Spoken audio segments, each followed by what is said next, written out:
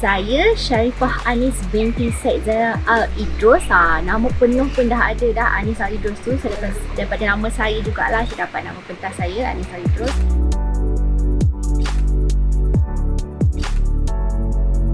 Dilahirkan di Kelantan pada 21 Julai 1988 tetapi saya sampai bila-bila pun saya 21.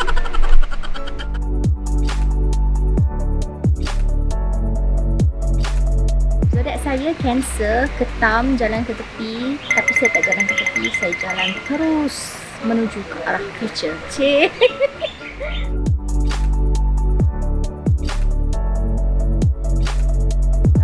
uh, Saya asal daripada Kota Baru Kelantan. So, uh, kalau orang Kelantan dia panggil Magnis uh, saya dilahirkan um, memang di Kelantan dibesarkan di merata-rata tempat sebab perjalanan saya uh, menuntut dia memindah randah. So saya pun berpindah randah lah.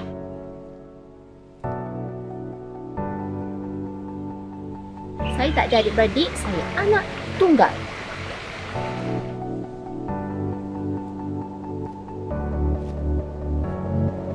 kalau ada waktu lapang, ada lapangan, saya memang sentiasa duduk di rumah sebab hari-hari dah keluar.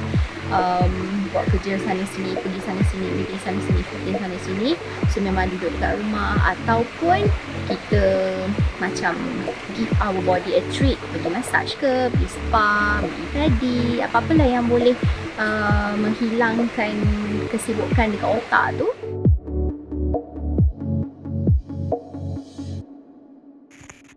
seorang minimalis so saya um, suka tengok keadaan tu yang dalam keadaan uh, monoton. Dia hitam putih uh, ataupun earth color um, black hitam putih black sama lah tu kan.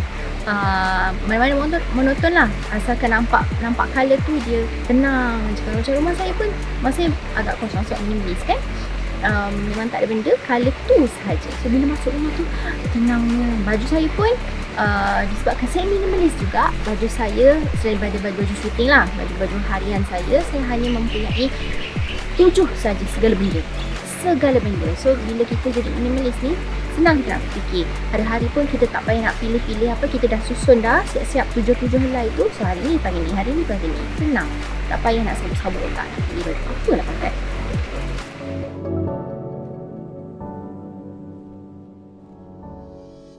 rasa macam semua benda pun saya makan. Kecuali yang tak boleh makan lah. Uh, tapi kalau nak dikatakan memang selalu selalu selalu saya makan tu maybe Thai food dengan Chinese food kot. Um, sebab tu macam dia light light je.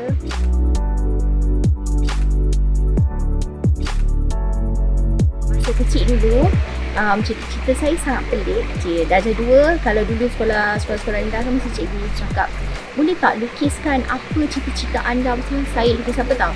Saya lukis orang pakai sarung mati hitam tengah pegang karung oh, terompak sebab banyak sangat tengok movie. Tapi bila dah uh, meningkat besar tu saya ada lima tak silap yang saya aim. Um, number one jadi model. Number two jadi uh, pembaca berita ke pelakon ke lepas tu penyanyi. Lepas tu apa lagi yang tapi yang saya ingat last sekali adalah stewardess. Stewardess je saya tak dapat jadi.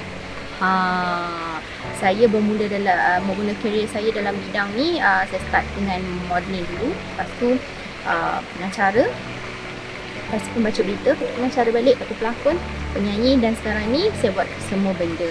Kecuali model je lah, saya dah kurang aktif sikit sekarang. Ha, so kalau nak katakan impian apa semua tu, empat-empat tu dapat kecuali stewardess.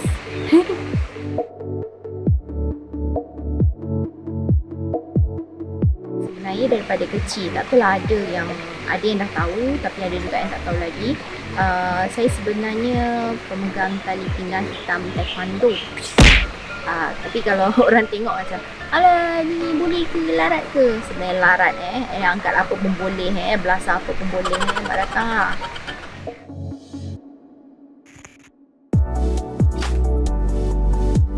menunggu. Sebab saya sebenarnya ayah saya ni uh, dulu kerjanya askar. Jadi kita dah terdidik daripada uh, kecil-kecil dulu. Kalau dia kata pukul 9 maknanya 8.30 dah kena ada. Uh, jadi sifat tu sampai sekarang tau. Uh, kalau bawa ke kerja pun kalau kau pukul 9 kita sampai 8.45 ataupun memang sharp pukul 9 tak ada 9 minit ke apa ke. Jadi bila orang tak menghormati masa ni kesian lah kita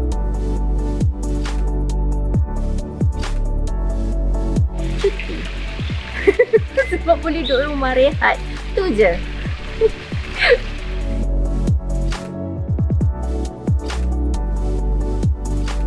dalam kerjaya saya, uh, saya tak ada spesifik idola kepada siapa. Saya tengok semua orang and kita study semua orang macam mana. Kalau dalam segi mengacara, kita tengok orang ni macam mana dia punya uh, teknik-teknik nak bekerja tu kan. Yalah sebab kalau pengacara ni kena banyak membaca apa semua. Um, apa ni, vokal pun kena betul. Kita ambil sikit-sikit-sikit-sikit tapi kita buat style kita sendiri. Jadi tak adalah macam, oh idola macam ni kita kena buat sebiji macam dia. Tak ada. Kita ambil sikit-sikit-sikit-sikit dan kita buat kita punya style.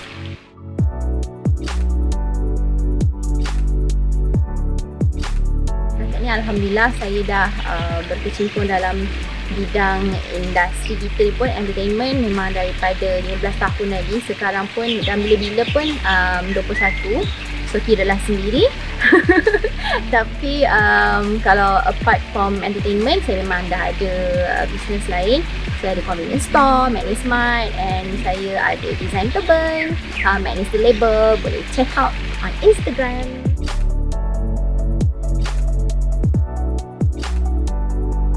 Peminat-peminat yang selalu menyokong saya, tengok syuting saya, download lagu-lagu saya, sokong-sokong apa bisnes saya yang ada. Thank you so much kerana tanpa anda sebenarnya siapalah saya dan terus menyokong saya. Thank you.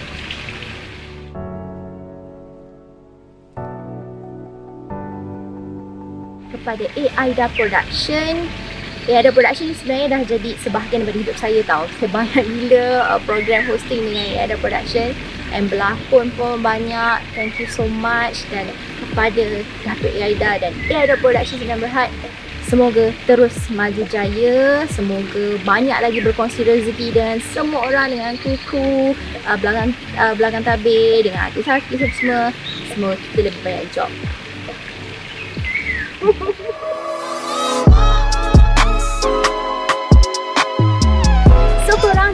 lupa subscribe, like dan share YouTube Aida Production.